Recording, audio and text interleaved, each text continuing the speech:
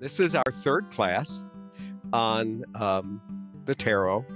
Today we're going to be looking at the minor arcana and particularly on how we can use the tarot to discern personality, typology, and life situations. So, as I said, today we're going to be talking about the minor arcana and personal experience. So, remember that the minor arcana, which is composed of both the pip cards and the court cards, refer to the personal realm. The major arcana retur- uh, refer more to the archetypal realm, but these refer to the personal realm. The pip cards, and you'll recall the pip cards are the cards numbered ace through 10, refer to personal events and situations. And the court cards refer to relationships in the world and within the psyche. I'd like to review. Today, we're going to be doing a lot, using a lot of visuals, because first of all, I want to emphasize that the tarot is a visual tool.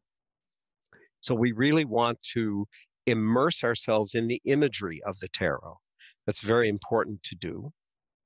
And I want to present you with this sort of graph or um, this configuration that talks about the minor arcana in terms of their typological function, in terms of Jung's psychological types, the tarot suit, and then because the tarot, the Rider Waite tarot especially, is very closely connected with the Kabbalah, we're going to be looking at the relationship of each of those functions and suits with worlds of the Kabbalah, and then the medieval alchemical elements of fire, earth, air, and water are also associated.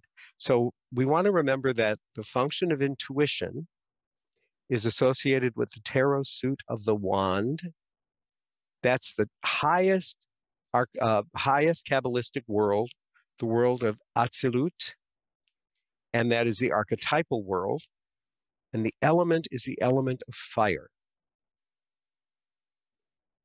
The typological function of feeling is symbolized in the tarot by the suit of cups. And that's the second Kabbalistic world, the world of Briah. And that's the world of creation. And the element is water.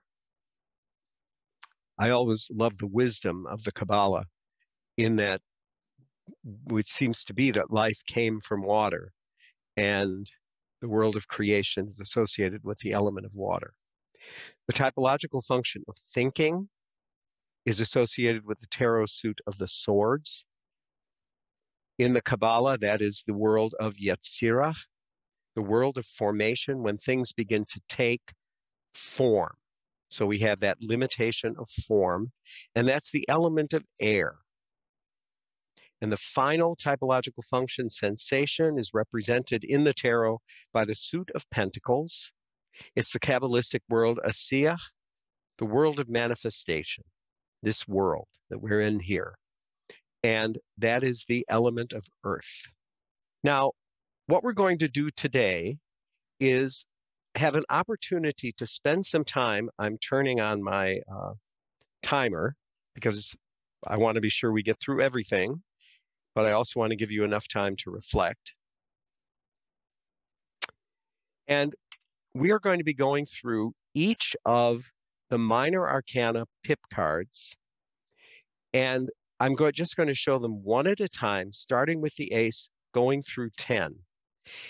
And I would like you to experience the images of the cards as though they were telling you a story about each suit and about each element.